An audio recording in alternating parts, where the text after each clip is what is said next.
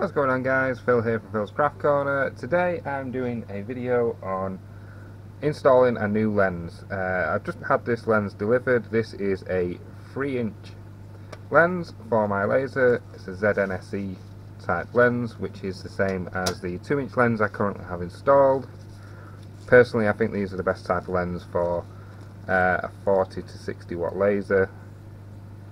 The clarity on there is really good. Uh, for comparison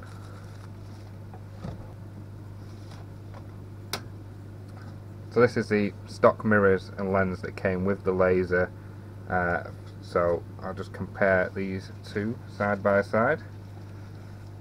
So this is the stock.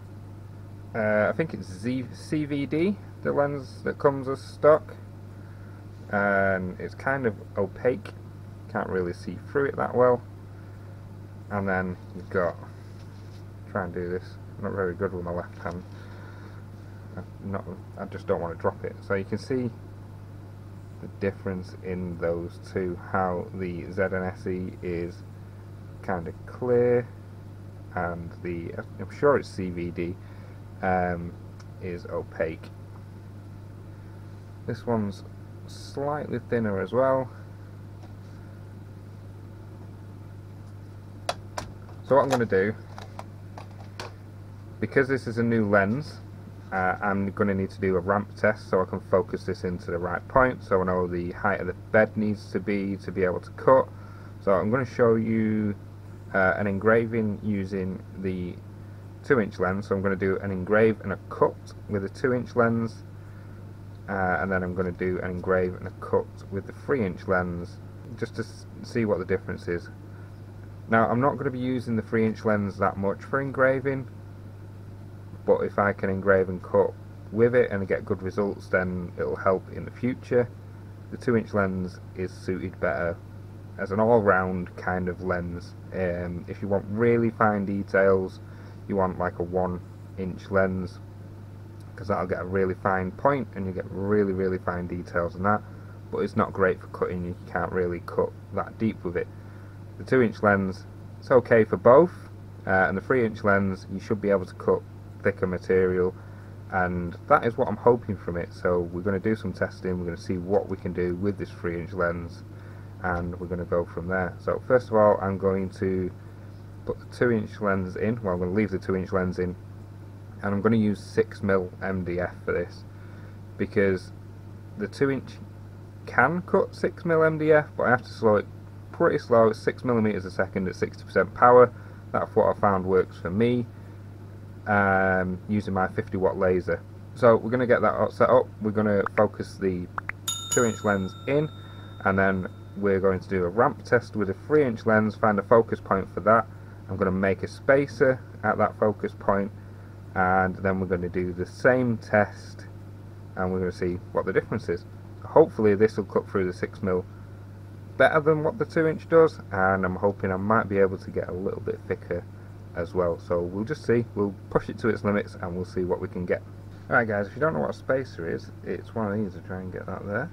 Uh, I've had to write on here 2 inches now um, because obviously now I've got a 3 inch and I don't want to get mixed up. So this is my 2 inch spacer. I should be able to tell because this one should be about an inch lower anyway.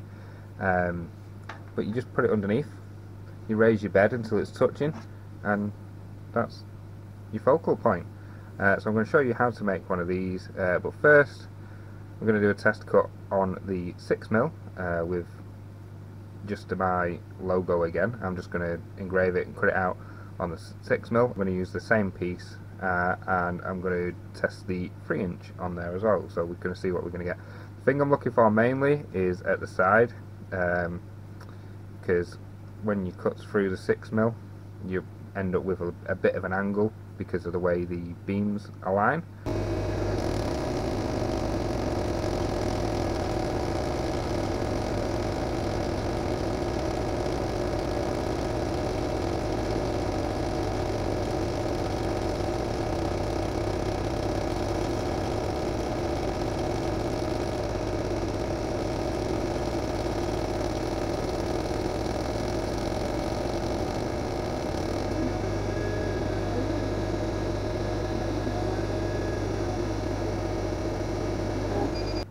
So that's the 6mm cut with a 2 inch lens.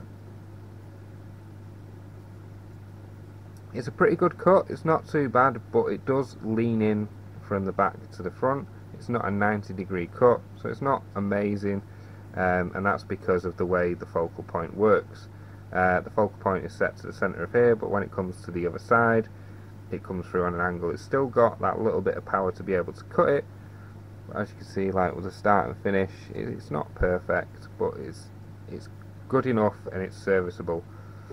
So let's get the 3 inch lens on, we'll do the ramp test and then we'll get the spacer cut for that one and then we'll do the test again on the same 6mm and we'll see what we can do from there. Alright guys, so that's the 3 inch lens now installed, so what I'm going to do is I'm just going to do a test fire onto this piece of wood just to get a rough estimate of where I think the focal point should be and that's obviously just the smallest dot that you can get on there. So let's have a look.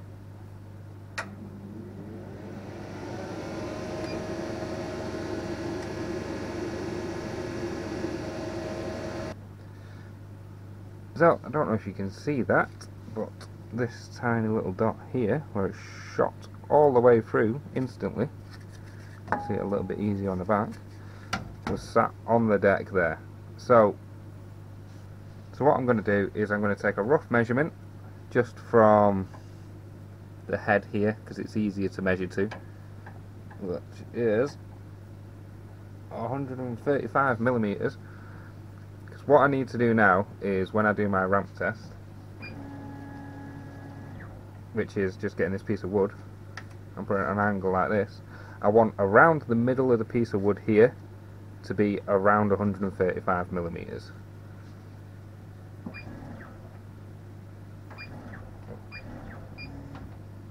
So around there, so if I put a mark there, that is now 115. So we drop this all the way down.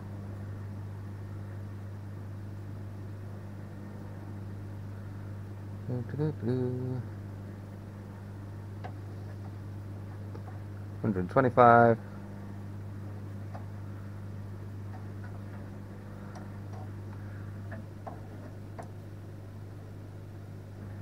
So that's now 135 mil there. So the setting we want is fairly low power so we, we don't want to actually burn all the way through so we want around 20 to 30 percent power and we want a medium speed I'd say for your machine. So I'm going to set mine at 20 millimeters a second at 30 percent power and then we're going to do the line test. We're going to see the results and we're going to go from there.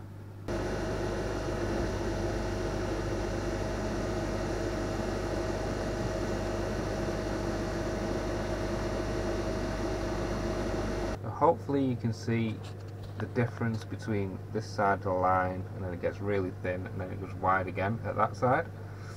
This is where you check your focal length. The finer point in the middle is where you want your focal point to be and you want to measure from the head of your laser just at the bottom to this point. So I'm going to do that now and that's the size we need for the spacer. So instead of fighting with a ruler and trying to get in, to do this. So instead of fighting with a ruler, I just use these blank pieces and I just sit them on the inside.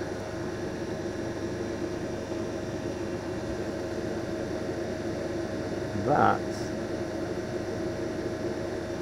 almost perfect.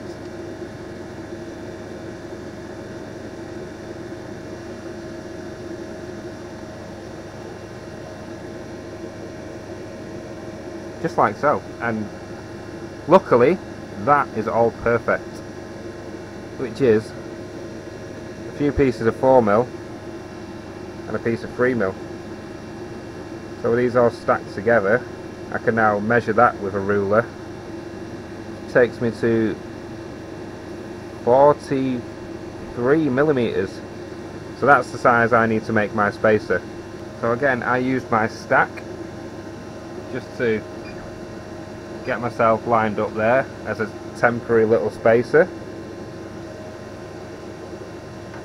I've drawn my square on Lightburn and then we're going to get that cut out on here.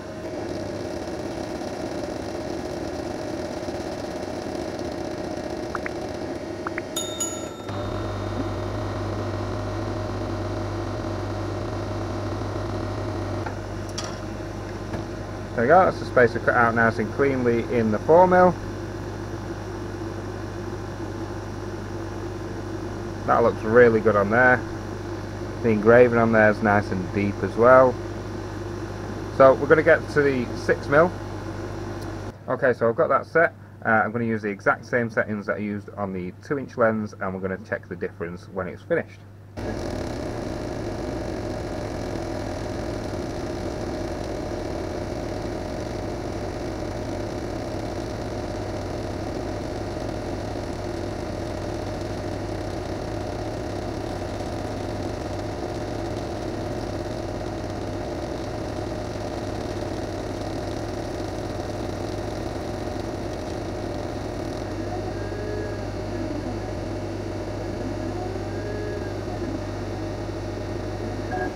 There we go. This is the 3 inch lens. Cut on there. It's roughly the same. Can't say it cut much better or worse to be fair. Looks very very similar. So this is the 2 inch this is the 3 inch there's not a whole lot of difference there. The 2 inches are a little bit darker from what I can see. Uh, just on the hair part at the top, it's a little bit darker on the 2 inch. But both of them give pretty good detail. They both give a pretty clean cut. So, the whole point of me getting the 3 inch lens was to try and cut thicker materials. So I was already cutting the 6mm so it's kind of expected that they'd be very similar cutting through the 6mm because they can cut through at the same time. So that was both with the exact same settings. So what I'm going to do is I'm going to test to see if it'll cut through any thicker materials. I've got some 9mm and I've got some 12mm and I'm going to see if it'll cut through those and what settings I'd need for that. So all I'm going to do is I'm going to cut the circle for this, I'm not going to do the engraving, so let's see what we can do. So this is the 9mm piece. I've got, I've focused that into the right point now. As you can see I've done some cuts out of this, I was testing the 2 inch lens and it took 5 passes to cut through this uh, at 9 millimeters a second, so I'm going to set it 9 millimeters a second, I'm going to do one pass at a time uh, and we're going to see when it drops through just to see how many passes it takes with the 3 inch lens. I'm hoping it'll take 3 or 4 just to get through this, maybe even less and we can start cutting some thicker material and that'll be brilliant for me in the future.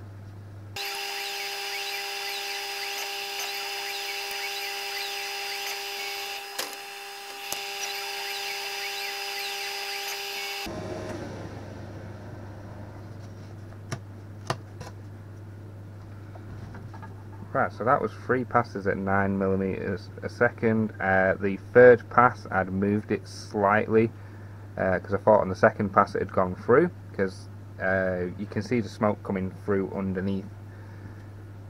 But that is fairly straight. There, there's not really much of an angle on there at all, which is really good. Uh, I'm happy with that.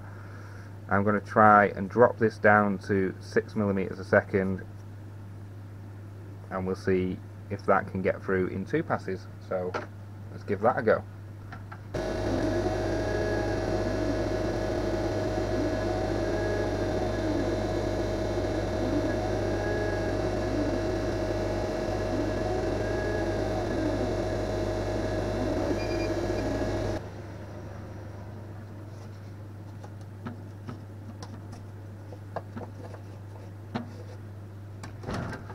that was really good. There was a tiny little bit that was held on just on this side here. I'm really really happy with that cut. So I can now cut 9 millimeters which is brilliant. Um, almost by the looks of it went through with a first pass because uh, you can see the smoke coming through from underneath again let's try some 12 and we'll see what we can do with that. So I've got a new piece of 12 mil here. We're going to stick this up in this corner and we're going to focus this in and we're going to hopefully be able to cut through the 12 as well.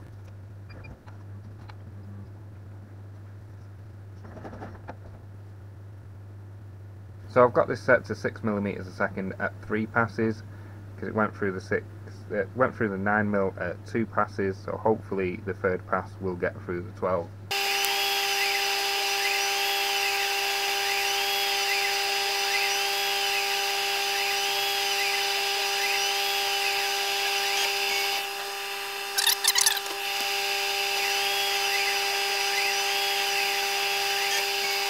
So I need to redo my zero points because I've just knocked it off. But these were temporary anyway, I'd only double-sided taped them, as is this laser bed.